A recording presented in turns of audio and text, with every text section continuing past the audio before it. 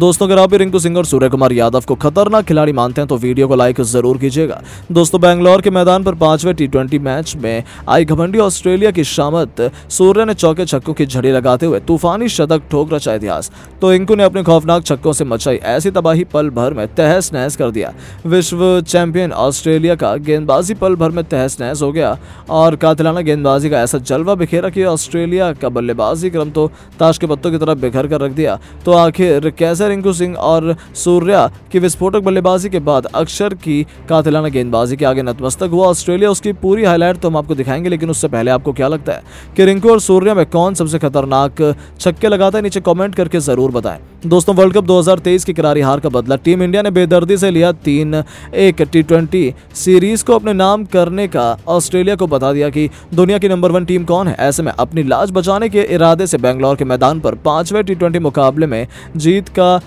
सपना सजाकर कंगारू उतरे थे, लेकिन उन्हें अंदाज़ा भी नहीं था कि टीम इंडिया के सिर पर तो खून सवार है। जहाँ दोबारा बेंगलोर के एम चिन्ना स्वामी स्टेडियम में टॉस जीतकर कप्तान सूर्या ने कदम रखते चौके छक्कों की झड़ी लगा दी तो रिंकू भी नया इतिहास लिखने के इरादे से आए थे और फिर ऐसा तबाही का मंजर आया जिसने ऑस्ट्रेलिया की जड़ों को हिलाकर रख दिया। जी हाँ दोस्तों, सूर्या ने अपने चित परिचित अंदाज में पॉइंट के क्षेत्र में खूबसूरत चौका जड़कर अपना खाता खोला। दूसरी तरफ़ रिंकू भी अपनी बारी का इंतज़ार कर रहे थे। उन्हें यह मौका मिला नेथन एलिस के खिलाफ और पहले ही गेंद पर उनके बल्ले से बिजली कौन थी? एलिस की बाउंसर को। रिंकू ने मिड विकेट के ऊपर से स्टेडियम के दूसरे स्टैंड में मारकर अपनी पारी की शानदार शुरुआत की थी, बस फिर क्या था? दोनों को आगाज़ तो मिल ही चुका था। अब इंतज़ार था अंजाम का, जो ऑस्ट्रेलिया के लिए तो बिल्कुल भी सही नहीं होने वाले उसके बाद फिर क्या था? मिड ऑन हो या मिड विकेट या फिर गेंदबाज के सिर के ऊपर से छक्का क्यों ना लगाना हो? सूर्य अपने 360 अंदाज में कंगारों की जमकर पिटाई कर रहे थे तो दूसरे छोर से रिंकू उनकी अद्भुत बल्लेबाजी का लुत्फ उठा रहे थे।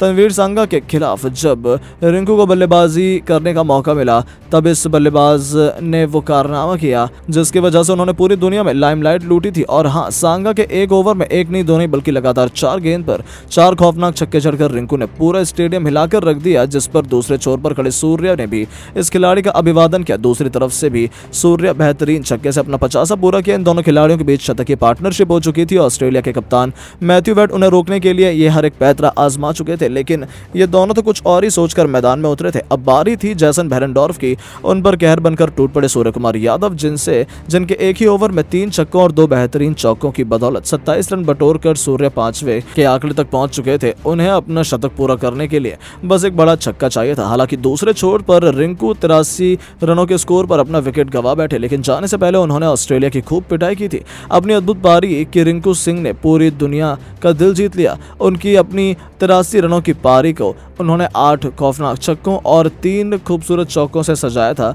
रिंकू के पवेलियन लौटते वक्त हर कोई खड़ा होकर उनके सम्मान में तालियाँ बजा रहा था। अब जाकर ऑस्ट्रेलिया ने थोड़ी राहत की सांस ली थी, लेकिन उनकी ये खुशियाँ ज़्यादा लंबी नहीं चल पाई। नेथन एलिस ने सूर्या के खिलाफ घातक बाउंसर मारी, जो कि उनके हेलमेट पर जा लगी। ऐसा लगा था कि सूर्या गंभीर रूप से घायल हो चुके हैं, लेकिन ये कर कंगारों ने अपने पैरों पर ही कुल्हाड़ी मारी थी, क्योंकि घायल शेर की तरह सूर्य दोबारा मैदान पर उठ खड़ा हुआ और फिर अगली ही गेंद पर ईंट का जवाब पत्थर से देते हुए। इस खिलाड़ी ने अपने 360 के अंदाज में घुटने टेके और विकेट के पीछे खौफनाक छक्के से उन्होंने केवल 35 गेंदों पर अपने इंटरनेशनल क्रिकेट का एक और शतक पूरा कर पूरी दुनिया को अपने कदमों पर झुका लिया। 101 रनों की यादगार पारी में सूर्या ने नौ खौफनाक छक्के और वहीं छह चौके भी लगाए थे, जिसे देखकर तो पूरी दुनिया उन्हें सलाम कर रही है। इस कदम पर टीम इंडिया ने विश्व चैंपियन ऑस्ट्रेलिया को दो सौ अड़तीस रनों का पहाड़ जैसा लक्ष्य सौंपा, जो उनके लिए अंगारों पर चलने से कम नहीं था। हालाँकि ऑस्ट्रेलिया अब इस विशाल लक्ष्य को हासिल करना चाहती थी। उनके पास खूंखार बल्लेबाजों की पूरी फौज थी। उन्हें लगा था कि वो इस लक्ष्य को हासिल करने के काबिल हैं। करोड़ों क्रिकेट प्रेमी एक ज़बरदस्त घमासान